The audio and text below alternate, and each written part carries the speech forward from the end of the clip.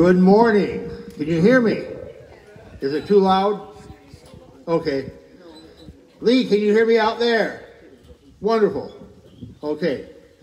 Well, welcome this morning. We're so glad you're here. Nice group of people. I have no idea how many, but we got lots of people here today. Almost 50. It's about 50 people. That's great. So aren't you glad you're here? I am. The call to worship this morning is from James chapter 4 verse 8. Come near to God and he will come near to you. That's good news today. Let me just share a couple announcements with you. Uh, Mary File is having her 95th birthday on Tuesday. If you haven't sent her a card, please do if you can. And uh, she's over at Hits Home. You can look that up on the phone book if you don't know the if you don't know the address.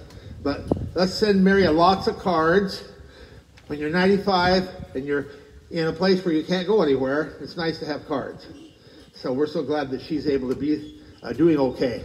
So please do that. And even if it gets there late, she won't care. She'll be happy to get it whenever it comes.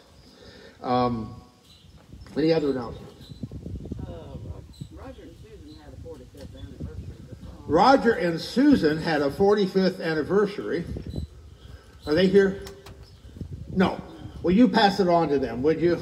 Okay. Their son's here, so uh, we're happy to share all these things.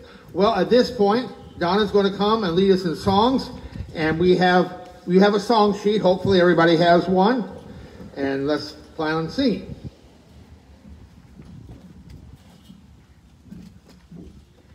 We got a little- we got another song sheet that's big. I'll trade you if you want. You don't need it. No. She doesn't need it. Good morning. I know all of us combed our hair this morning. It still looks great. okay, let's all sing Blessed Assurance, verses 1 and 3.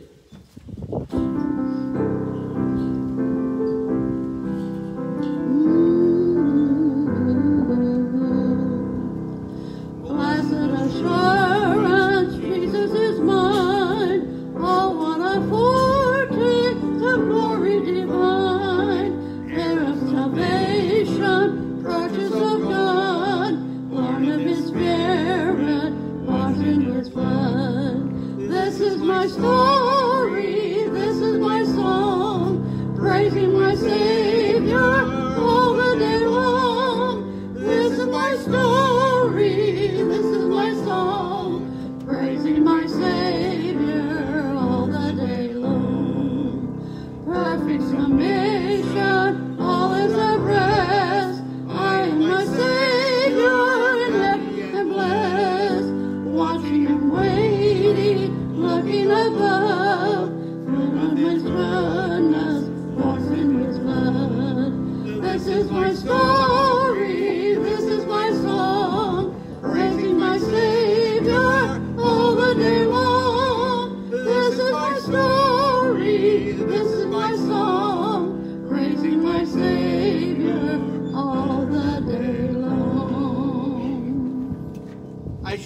that if you want to use your car radio back there, wherever you are, it's 87.9. Okay, thank you. Thank you. okay, eh, greatest great is thy faithfulness, and we're doing one, two, and three, all verses.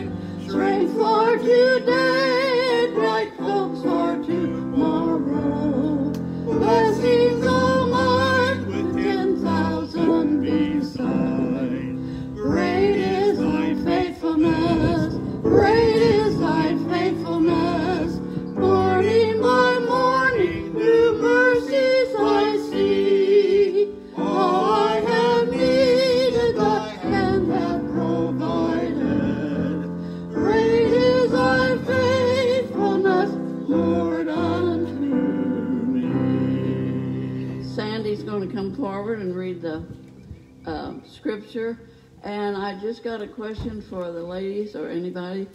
Would we like to have CPW this week?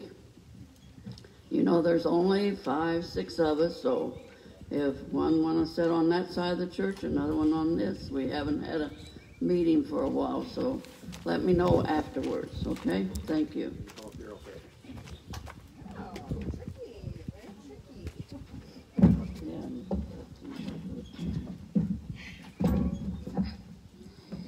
The scripture reading today is Psalm 1. I'm reading from the New International Version.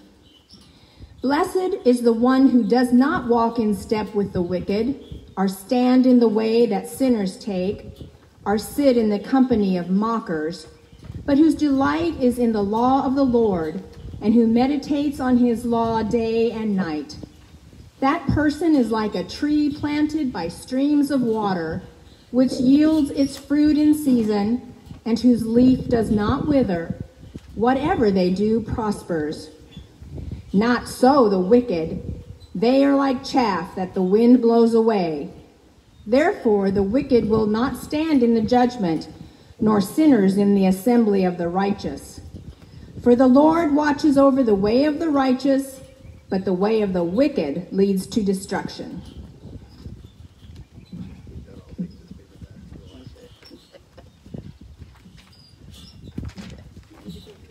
No, he gave me this.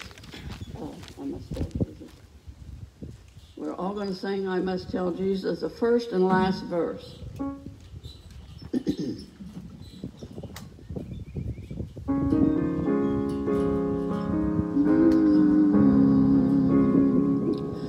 I must tell Jesus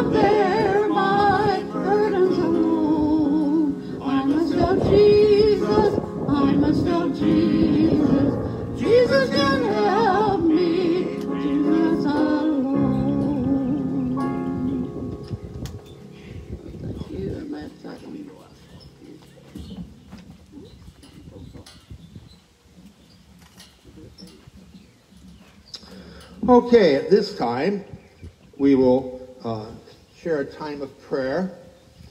We need to keep praying for our nation with all the things that we're going through right now. Seattle and other areas that are there's trouble. I'm so thankful. I want to give praise to God that that the event in Greenville was went without any serious problems. It was it was a uh, just a peaceful protest, which is fine, and we're so thankful for that. And uh, we're thankful for so many things. We want to keep praying for Tess Lohman. She is improving from what I hear. And she's been able to walk with a walker. She's been able to have her ventilator out part of the time. So there are several, several good things in that situation. She's the one who was in the accident and where, uh, where Lincoln was killed and she was seriously injured, not too far from here. So those are some things we want to remember. Let's just remember, like I said, our nation. Uh, and let's pray. Father, as we come together right now, we are so thankful that we can offer in prayer to you our concerns. We're concerned for our nation, the division we sense right now in the nation. We pray for our president. We pray for our members of Congress. We pray for other leaders, our state leaders, our local leaders, for our police departments, and for uh, racial reconciliation, Lord. We just pray that all of these things would be the way you would want them to be, Lord. Help us. May people turn their hearts toward you in this time. Father, we just thank you so much that you're here with us. We're thankful for each person who is here. We're thankful that we can share openly our faith and that you hear us when we pray. Lord, bless this time of worship and praise that we might please you in all that we do and say. We give you thanks. In Jesus' name, amen. I've been told there are somewhere around 50 or so people here. I believe it. More than 50. Maybe 60, who knows. It's a little hard to get a count. but we're so glad you're here. And we haven't, I, let's just don't worry about next week until we know what the weather is. There's a possibility of thunderstorms, which means we'll have to be inside. If it's a nice day, we could be outside. So we'll, we'll just take a day at a time and deal with that later in the week and get word out to you when that time comes. So at this point, I want to read some scripture to you.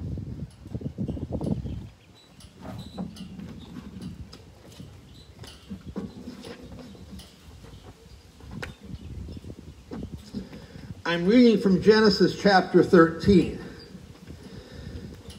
The truth is, my past my sermon is based on chapters 13 to 19, but I don't really think you want me to read all of those chapters this morning. What I'm going to read is a portion from chapter 13, and then I will refer to passages from those other chapters as we work through this uh, sermon this morning. So Abraham went up from Egypt to the Negev with his wife and everything he had, and Lot went with him. Abraham had become very wealthy in livestock and silver and gold. Now I'm going to skip down to verse 6. But the land could not support them while they stayed together, for their possessions were so great that they were not able to stay together, and quarreling arose between Abram's herders and Lot's. And so Abram, about verse 8, said to Lot, Let's not have any quarreling between you and me, or between your herders and mine, for we are close relatives.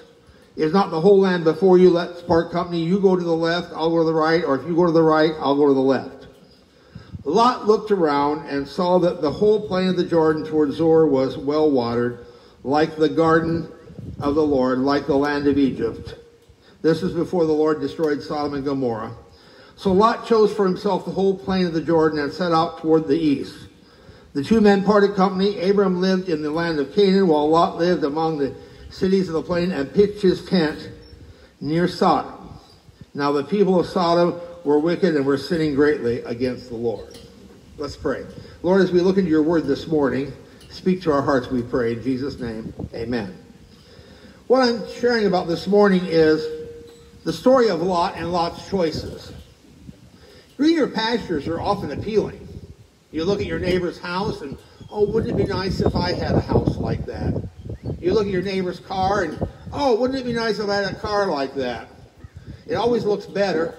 And I heard a story, and this could have happened in anybody's neighborhood probably, where this person was looking at the big house next door and the beautiful cars and the three car garage and all the things they had. Thought this family must really have it pretty soon, something happened where alcoholism, a car wreck killed the husband and wife, left the children as orphans. That didn't look so pretty, did it? We don't know what the other person's going through when we we should not covet our neighbor's things. There's nothing wrong with enjoying looking at somebody, a neighbor's house, and say, that's pretty, that's a nice house, and saying, I'm glad you have that. That's okay. Now, there are several things that Lot did, and we're going to look at them because it tells us about what can happen with a downward spiral spiritually. Now, the passage that Sandra read to us speaks to the same thing. Blessed is the man who walketh not in the counsel of the ungodly, or standeth in the way of sinners, or sitteth in the seat of mockers. Who walks, then he stands, and then he sits. You see a difference here? When you're walking by, you may look, but you're, you're still walking. When you stand, then you've paused to look longer. When you sit, now you're comfortable. Do you see the difference?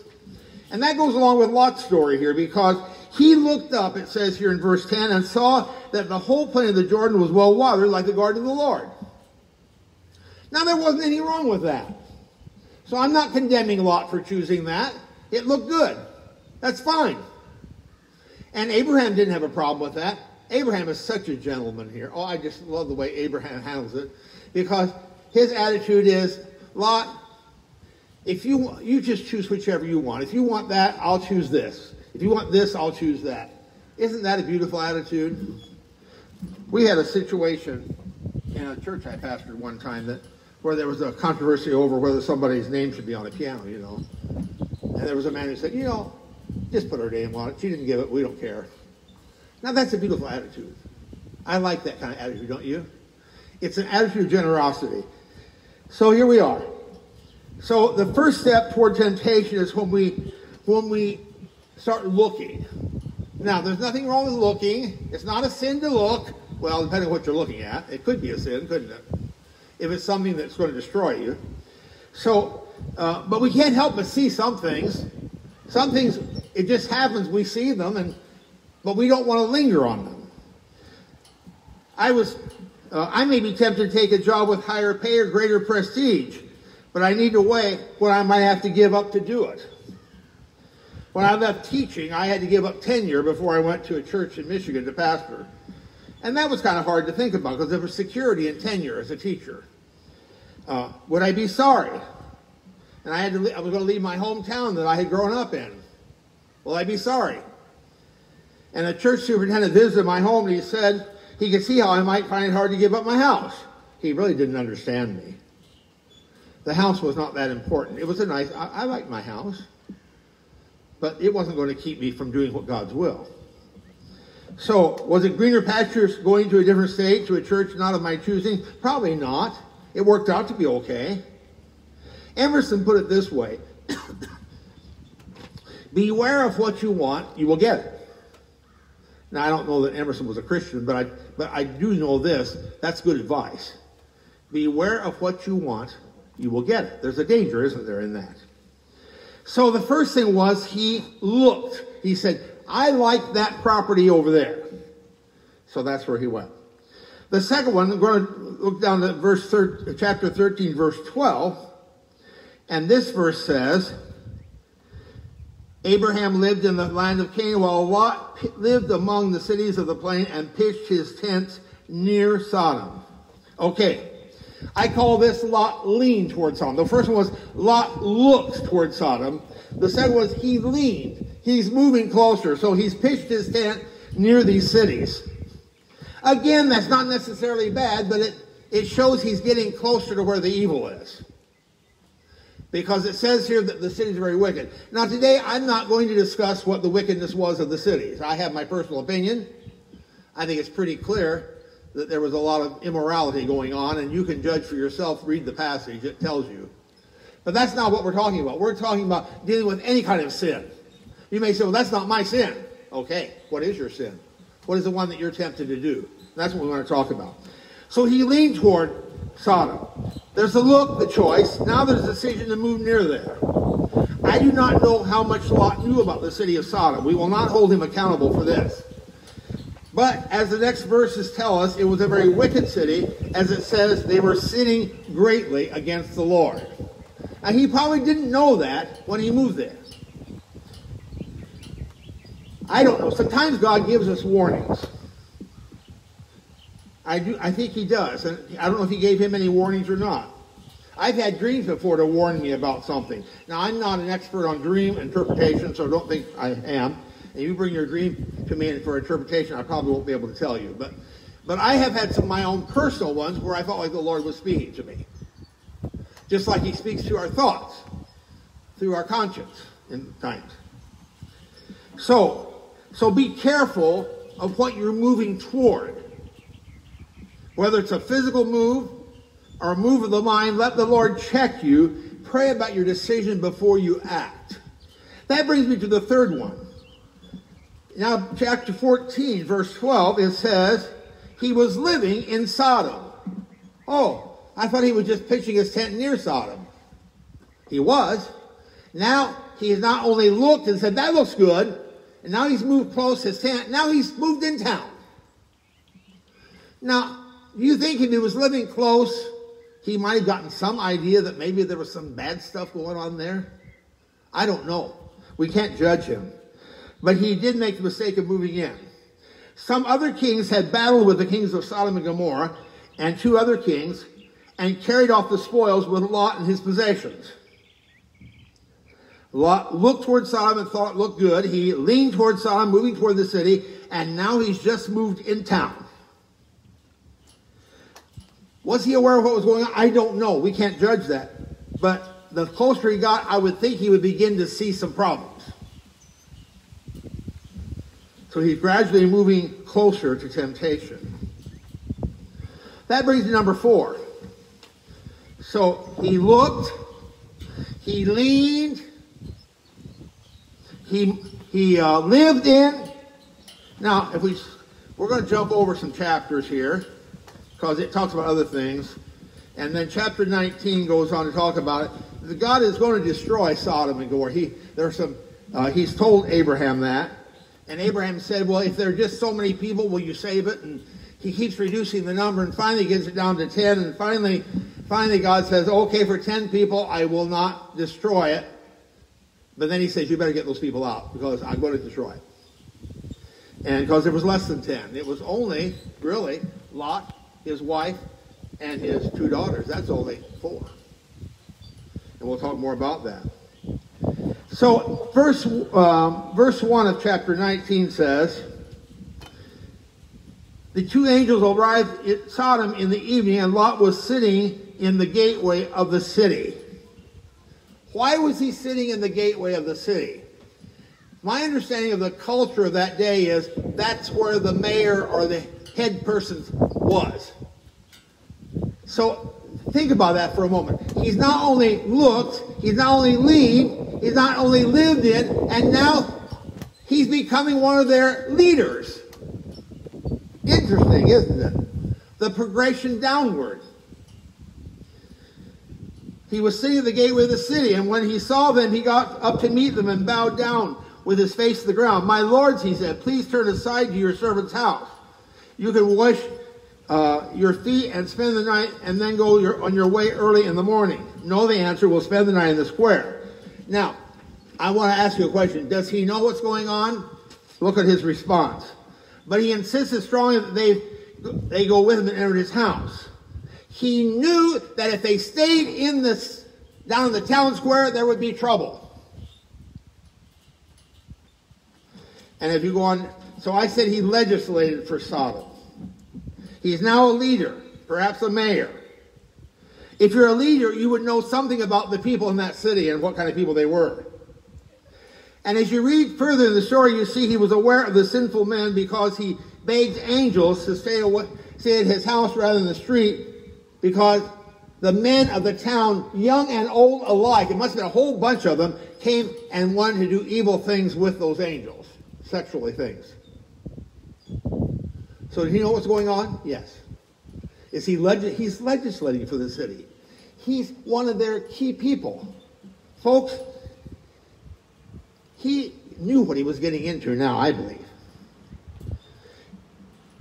So the man of the city asked to do terrible things. Why did he stay in the city? If I knew I was in a wicked city like that, I wouldn't want to stay, would you? No, I wouldn't want to stay. I'd want to leave the place, get as far away as possible. But sometimes, why did he stay? Maybe because he had earned great wealth in that city. Maybe he liked the prestige. Maybe he liked being mayor. Maybe he liked being in a place of authority. I don't know. But it looks suspicious, doesn't it? Blessed is the man who does not walk in the counsel of the wicked, the person who does not walk in the counsel of wicked, or stand in the way of sinners, or sit in the seat of mockers. That's talking, that's Psalm 1, but that's also talking about Lot, isn't it? So that brings us to the next thought. So back down to chapter 19, verse 14. Well, verse 9, get out of our way, they replied. This fellow came here as a foreigner, and now he wants to play the judge. we'll treat you worse than them. They kept bringing pressure on Lot and moved forward to break down the door. These are really nice people, aren't they? Oh. But the men inside reached out and pulled Lot back into the house and shut the door. Then they struck the men who were at the door of the house, young and old, with blindness, so they could not find their, the door. The two men said to Lot, Do you have anyone else here, sons in laws, sons or daughters, or anyone else in the city who belongs to you? Get them out of here, because we are going to destroy this place. The outcry of the Lord against its people is so great that he has sent us to destroy it. Now, if you go on down, so Lot went out and spoke to his sons in law who were pledged to marry his daughters. He said, Hurry and get out of this place because the Lord's about to destroy the city. But his sons in law thought he was joking.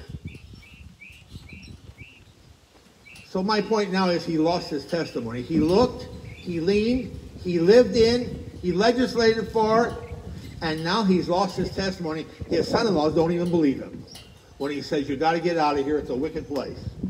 They, they weren't married to his daughters yet, but they were engaged. They were betrothed. This tells that his life was such a compromise that those son-in-laws did not believe him. He had lost his testimony. If you continue to compromise with evil, it will eventually show you up for who you are. This quote is often attributed to Lincoln, and some say it didn't come from him, but I don't care. It's a good quote. You can fool all the people some of the time, all the people some of the time, but you cannot fool all the people all the time. And you certainly cannot fool God. Are there compromises in your life that cause you to lose your testimony?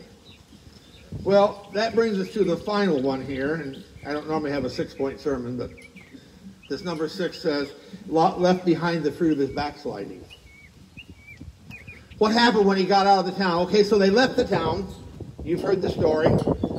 And as they were getting quite a distance from the town, God was raining down uh, fire and brimstone on the city. Now, some believe it was an eruption that came up. It's where the Dead Sea is now, which is a salt sea. But it, evidently there was some kind of, maybe it was like a volcanic eruption. I don't know, but it was, God did it. And destroyed the city.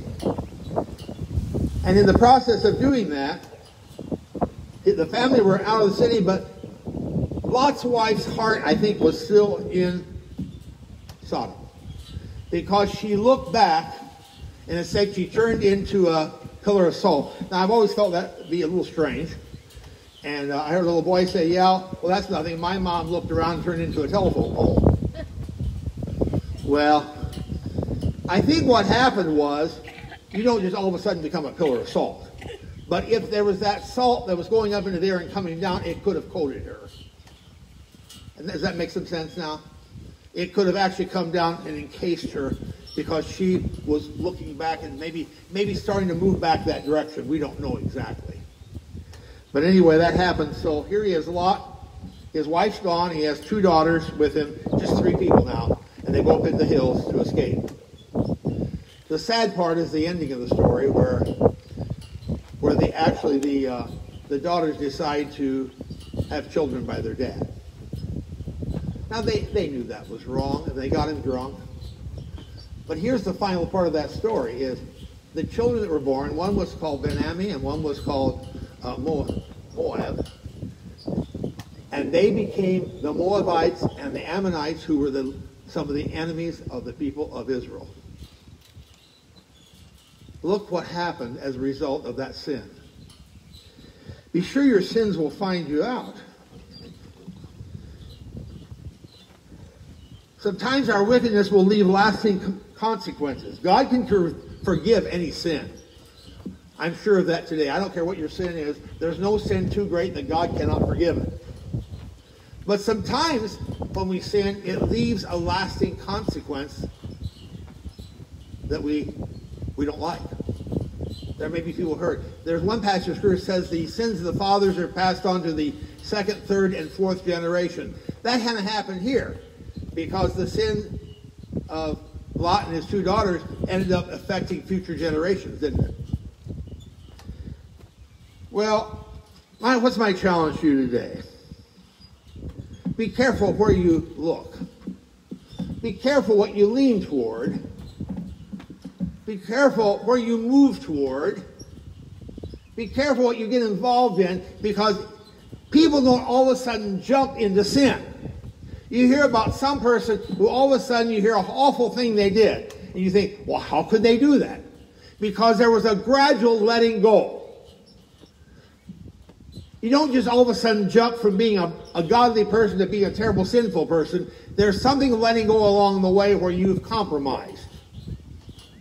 So what we want to do is, the challenge today is, let's check ourselves along the way. Let's say, Lord, check me. Is there a problem? Is there a problem here? And before I get too far into it, Lord, take care of it. You know, help me to know what I need to do. And if you do that, I think you'll find that that makes a world of difference in your life. We're going to sing in closing the other hymn that's listed on your song sheet. Yield not to temptation. I'm going, we're going to sing the first and third, but let me read the second one. Shun evil companions, bad language disdain. God's name hold in reverence, nor take it in vain. Be thoughtful and earnest, kind-hearted and true. Look ever to Jesus. He'll carry you through. Let's sing verses 1 and 3 at this time.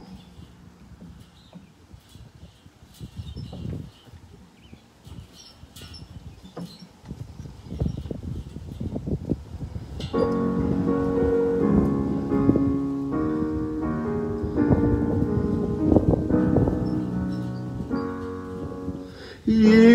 not to temptation, for yielding is sin. Each victory will help you some other to win.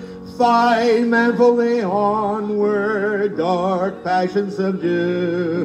Look ever to Jesus, he will carry you through. Ask the Savior to help you, comfort, strengthen, and keep you. He is willing to aid you. He will carry you through. To him that o'ercometh, God giveth the crown. Through faith we shall conquer, though often cast down. He who is our Savior, our strength will renew. Look ever to Jesus he will carry you through. Ask the Savior to help you, comfort, strengthen, and keep you. He is willing to save you. He will carry you through. Let's pray. Father, help us to be obedient and to listen to your voice and to let you speak to our hearts. And we thank you in Jesus' name. Amen. May the Lord bless you and keep you. May the Lord make his face to shine upon you and be gracious unto you. May the Lord lift up his countenance upon you and give you peace now and evermore. Amen. Have a wonderful day. And you're dismissed.